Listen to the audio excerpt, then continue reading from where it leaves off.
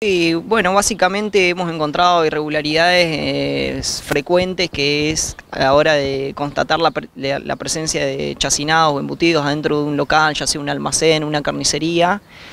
Eh, cuando intentamos definir la trazabilidad, es decir, saber de dónde viene y qué ingredientes tiene ahí adentro ese embutido, eh, muchas veces nos costó esclarecerlo y a veces no había respuesta. Entonces, Hemos definido que todo lo que sea embutido y chacinados debe estar acompañado de un rótulo. Si está exhibido en una bandeja, el rótulo tiene que estar exhibido.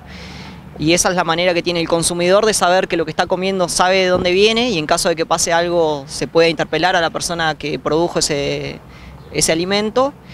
Eh, y también garantiza que el comerciante está cumpliendo con todas las legislaciones vigentes. Entonces lo que pedimos a la población es que tanto comerciantes como consumidores que tengamos en cuenta esto.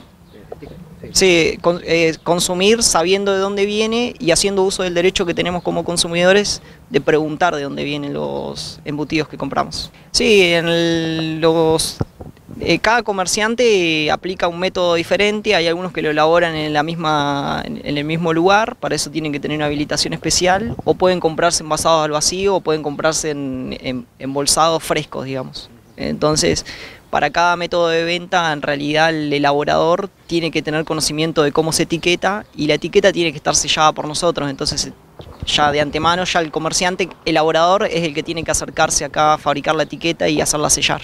No, a simple vista es difícil de definir, por eso nos apoyamos en, el, en, el, rótulo, que es el único que nos puede garantizar que vamos a saber a dónde ir a buscar en caso de que pase algo.